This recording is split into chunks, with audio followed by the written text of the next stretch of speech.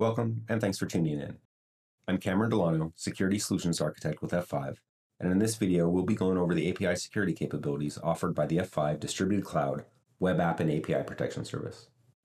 Throughout this video, we will walk you through several key features. First and foremost, we will demonstrate how simple it is to activate the API protection and discovery capabilities within the platform. You'll see firsthand the ease of enabling this essential layer of security. Next, we'll explore the functionality of discovering shadow APIs. We'll guide you through the process of downloading the learned schema and seamlessly importing it into our API definition.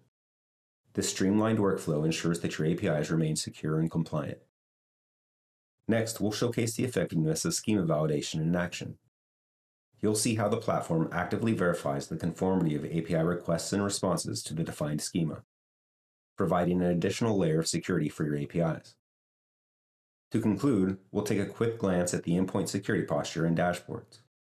This comprehensive view allows you to assess and monitor the security status of your endpoints, empowering you to make informed decisions. So let's go ahead and get started.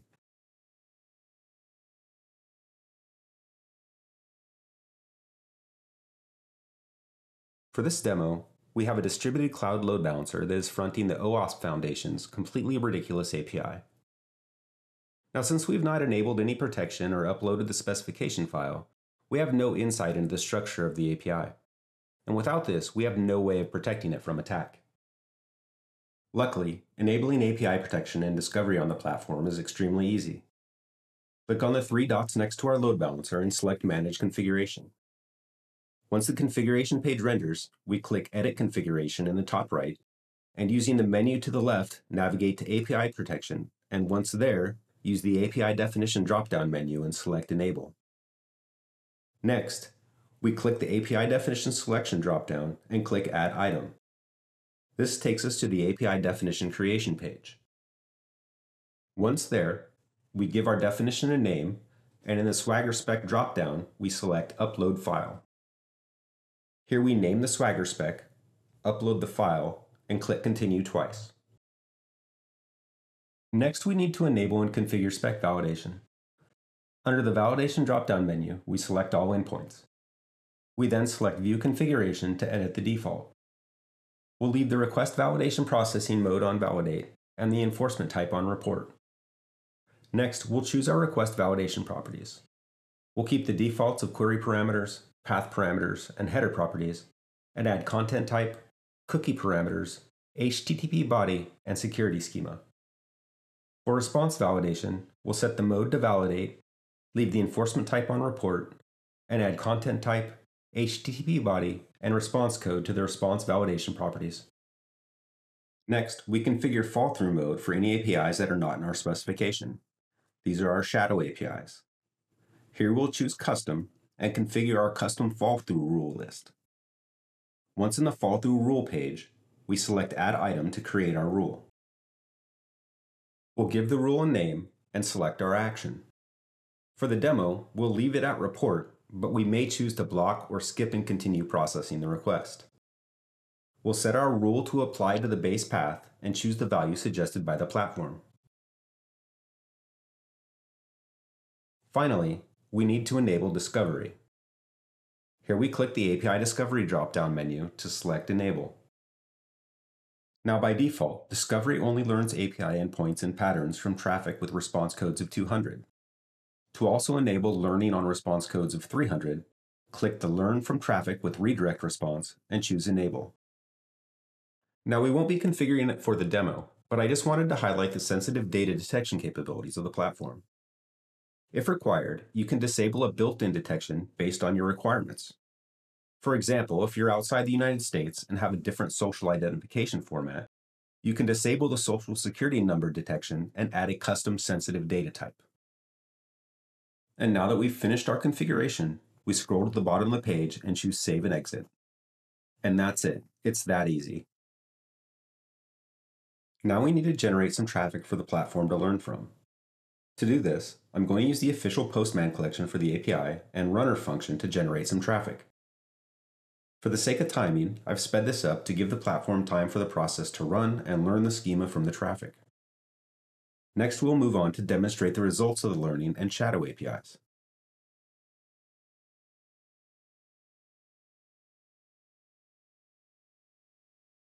Now let's head to the security dashboards and see what the platform has learned. Here we can see that we've made some discoveries.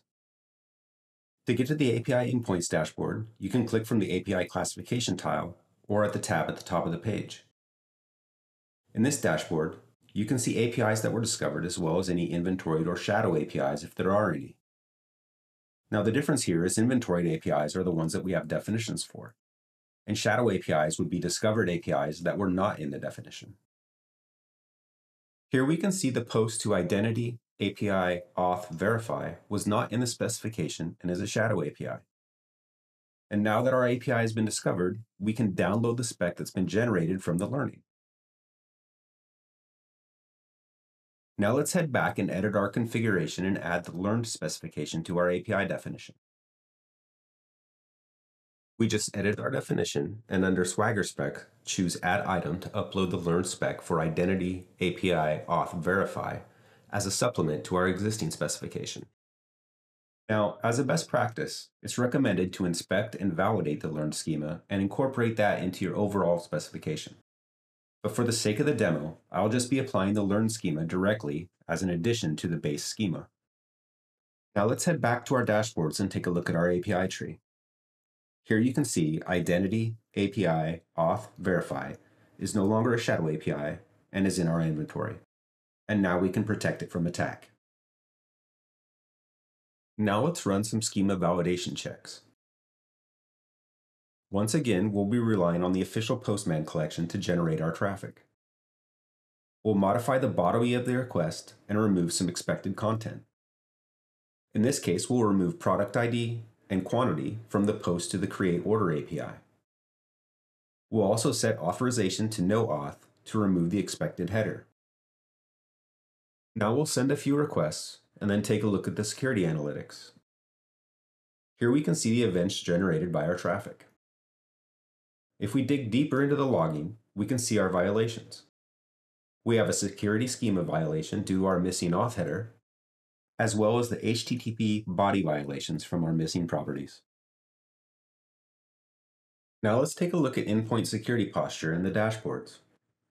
Here in the API endpoints dashboard, we can see data on our top attacked APIs listed in order of percentage of attacks, the top three sensitive data types found, the total API calls and their response codes, and the most active APIs. In the table view of our inventory, we have data related to each endpoint. Here we can see if any sensitive data types have been found, the threat level of the API based on volume of attack traffic, the authentication status, API category, and calculated risk score. If we click on the endpoint, we can see additional details related to its health, authentication, both learned and inventoried specification, and security posture. In the Security Posture tab, we can see vulnerabilities found. In this case, our JSON web token has some issues. We can also see the description of the vulnerabilities found, as well as risk score, evidence, and remediation. I hope you've enjoyed this quick demo of some of the API protection capabilities of the F5 distributed cloud platform. The connected world runs on APIs, your banking app uses them, your rideshare app uses them, even that weather app you check before walking out the door, it gets that data from an API. We interact with them multiple times throughout our daily life to do everything from the most essential to the most mundane. They are simply everywhere, and more and more are being published every day. Given the sensitive nature of the data that can be exposed by unprotected APIs, the need for effective security cannot be stressed enough. Thank you, and thanks for tuning in.